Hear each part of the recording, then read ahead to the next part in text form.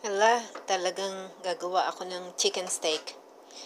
Alam niyo ba yung, ah, ah, yung YouTube na sinend ko sa inyo? Nako, yung mga Pilipino doon, puro mga criticism ang ginawa doon sa nag-post. Kesyo, simpleng adobo lang daw, kesyo, ganito ganon. Kahit pa, at least nag-share yung tao ng masarap na putahe. O tingnan nyo nga, nainganyo, nainganyo ang tita. Ano ba yan? Wala na pala sa, sa focus yung camera. Tinitingnan ko kasi yung ginagawa ko.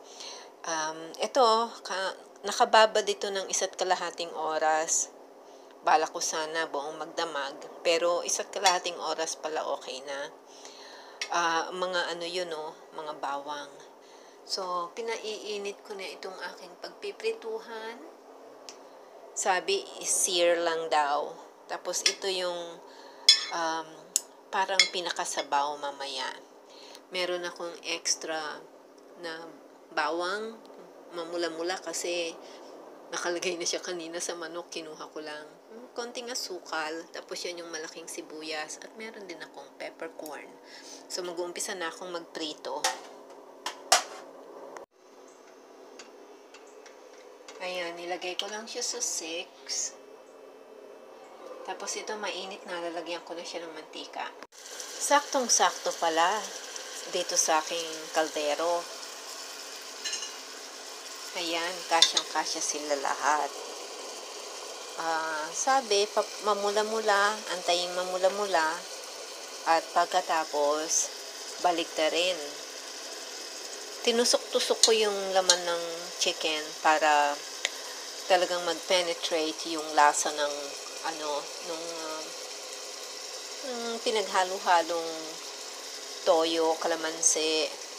Wala akong kalamansi, kaya dayap. Ang tawag dito lime. Siguro dyan sa Tagalog, dayap. So, tatakpan ko lang para hindi siya tumalsik. Uy, meron pala akong pantakip na hindi, na ito oh.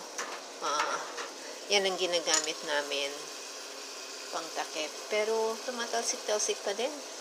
Siguro takpan ko na lang nito. Oh.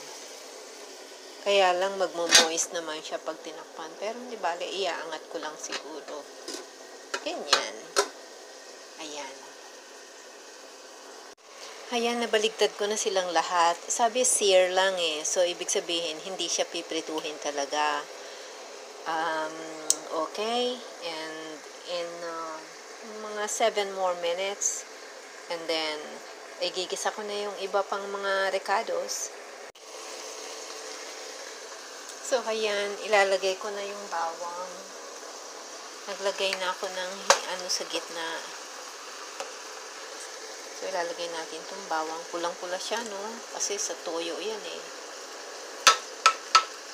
Yan.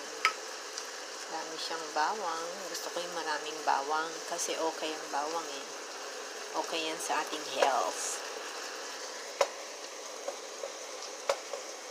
Uh, hininaan ko yung apoy. Lakasan natin ng konti para naman magisa yung bawang. Mga 7. Yan para gisang-gisa yung bawang. Hindi makita, no? Kasi nga sa toyo at saka sa kalamansi. Ngayon, sabi, ano pa ba yung ilalagay? Hindi tayo maglalagay ng asin kasi meron na nga siyang soy sauce eh. So, ihalo na natin. At ang sabi, ihalo na rin daw yung pinagbabadan. Uh, mamaya ko na i-gigisa yung yung onions. Ito yung pina, ito yung pinagbabada no. Iahalo natin yan. Yan.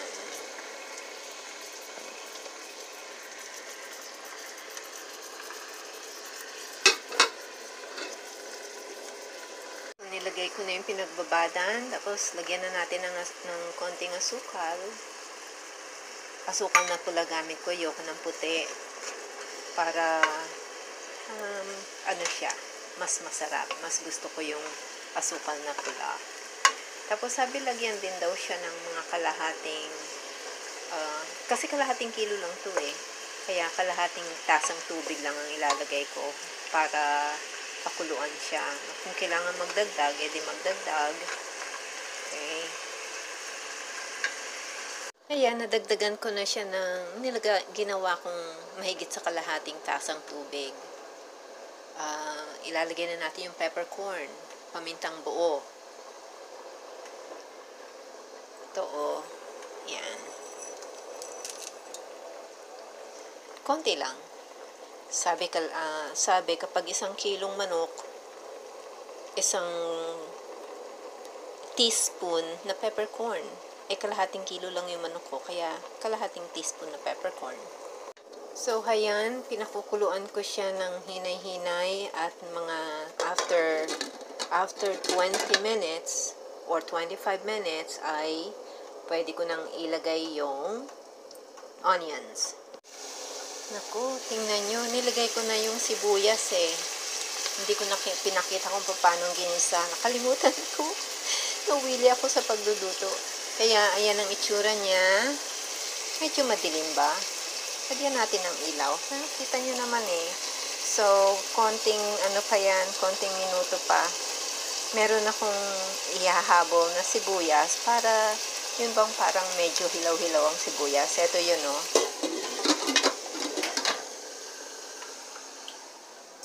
Ayan yun. Konti lang naman. Ganyan lang gusto ko tuyo.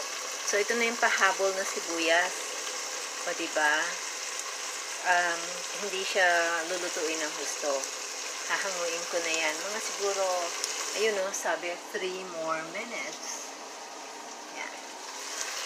Um, okay, tatakpan ko na siya.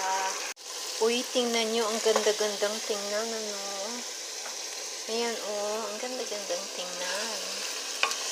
Onion rings pa siya. At saka, luto na yan. May pambaon na ako. Gusto ko lang talaga tuyo. Ayoko ng masabaw. Basta sa, o adobo nga talaga. Pero, chicken steak siya. Chicken steak.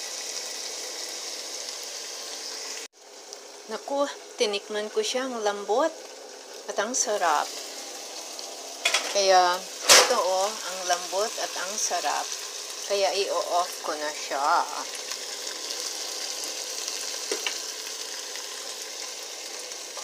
Ang sarap-sarap.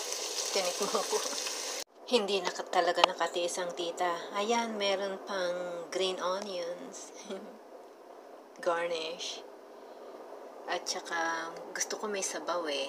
Yung ano yan, yung pecha yan. ah, na may sabaw. Kaya, pero gusto ko dito sa chicken steak, dry. Ayoko ng maraming sabaw ang chicken steak. Kaya, o sige, kain na tayo.